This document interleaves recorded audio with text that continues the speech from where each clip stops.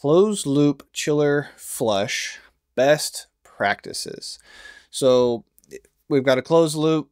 We want to flush the the loop out uh, for whatever reason. So there's there's two kind of lines of thought that comes to mind with this.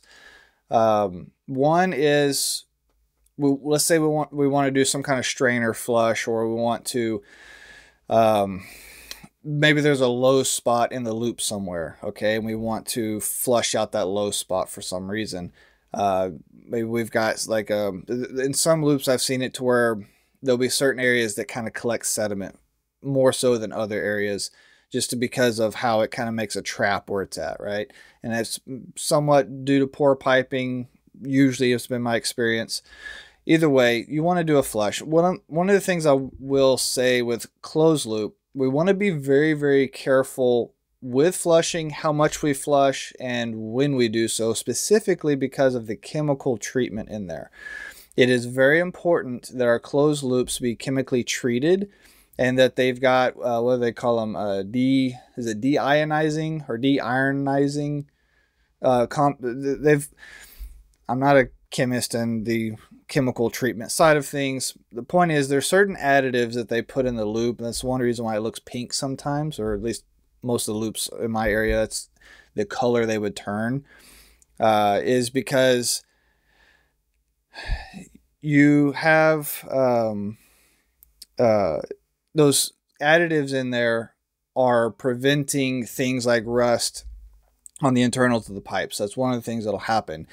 So we want to be very careful when we're doing any kind of flushing or if we're opening up a closed loop that the either the facility we're working at is aware or their chemical team or if we're working directly with a chemical company because uh, i've done that too in the field where we actually brought a the chemical with us or a chemical company in the in, in and we manage them directly as part of our contract with that facility. The facility themselves did not manage chemical treatment however it is that um, you're set up, you want to make sure that those that team is involved because whatever water you take out, that's going to uh, cause fluctuations in that chemical treatment, which, if you're not careful, can have severe side effects with erosion on the piping.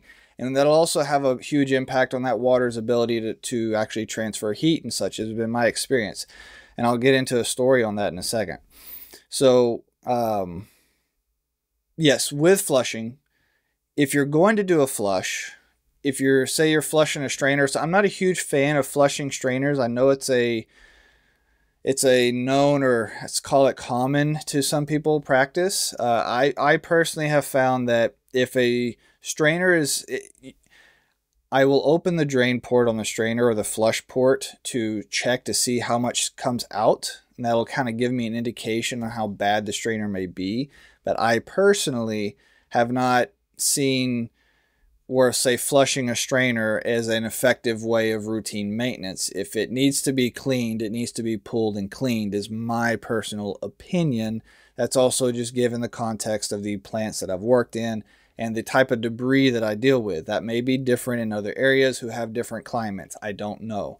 I only know my region that it wasn't the most effective thing. We get a lot of leaves, we get a lot of heavy sediment and mud.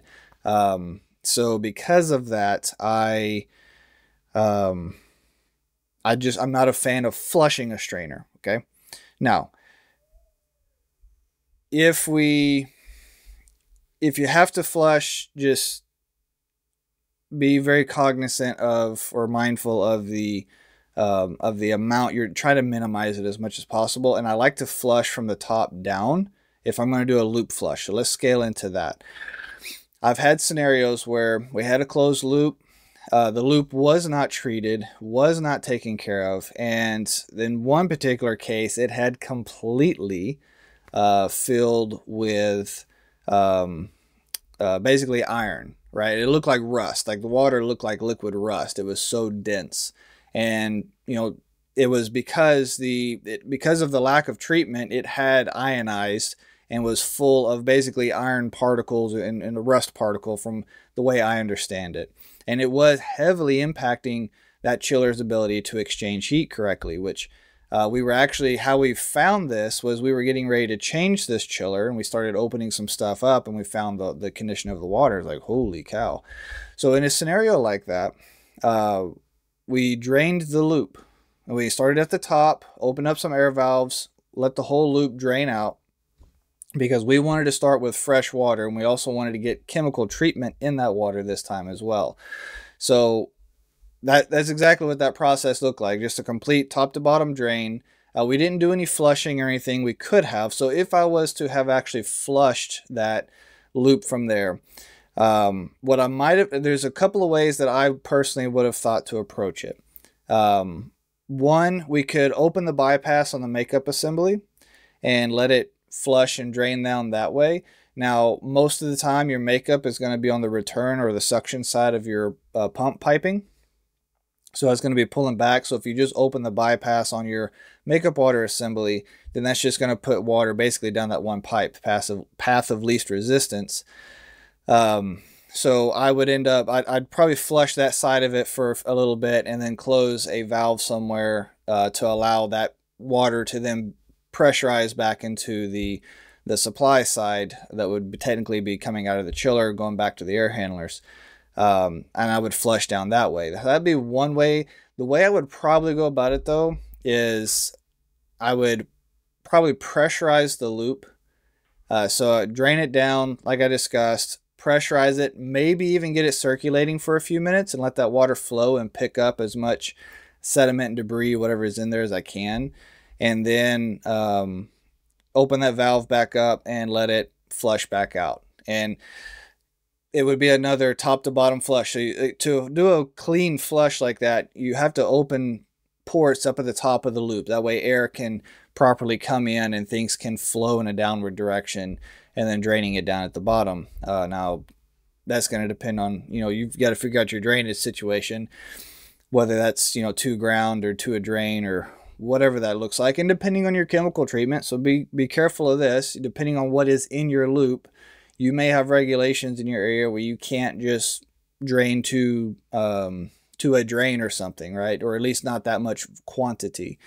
Uh, so that's a pretty severe one all right you're talking about a whole loop flush which unless you've got a scenario like i described where the whole loop is severely ionized it, that's a that, that only had that happen that one time. Now I've had some really dirty loops, and when you're doing a, a commissioning startup on a closed loop, you're going to have a lot of construction debris. That's where your strainers come in, and you can actually put um, startup strainers and such in on on some of these, and even some of them actually come with it. Where the new install, they'll actually have a temporary strainer that's um, on the the the strainer itself that basically you'll use that during the first little bit of startup uh, that may be the first month first two months whatever it is you'll have that that startup strainer which will be a, a finer mesh that'll collect a lot of the just general construction debris and then you can remove that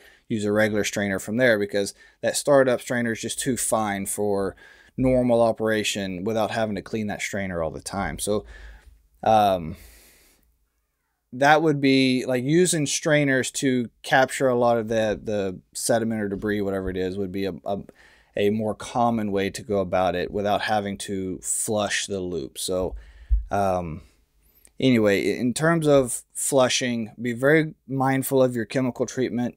Don't throw that out of whack. And if you like, always have your chemical company involved in that process, please. Um, and then if you do have to do an actual flush, like then I'm, I'm going to say we've probably got a pretty severe scenario. There's there's some of these cases where they can put some chemical treatment in there and it will actually um, stabilize that water in a way to where you don't have to do a flush. That's my understanding, at least. You know, talking to some of these guys, where there are certain things they can do that'll help, say, allow a lot of that heavy sediment that may get in the water to settle because of the chemical additives they put in. If you're not already in Chiller Academy, I'd really encourage you to go check it out. Just think about it, right? Uh, this is what I do full time. I've I've committed. I've stepped out of the field, committed my career to this going forward. This is what I've always wanted to do, and to be able to educate, help others, and grow and help this industry take step steps forward. Um, so chilleracademy.com. Like I'd, I'd, love to be able to work with you over there. We've got a community page. Uh, every, all the lessons have a comment section. That's what I spend a lot of my day doing. If I'm not working on the lesson material itself, then I am in the comments and I'm trying to respond to those as fast as I can. Uh, in addition to helping you through email and otherwise. So love to be able to work with you. For all of those that are in the academy, y'all are doing some great work out there. Keep it up. I really appreciate the support and the feedback that you've given.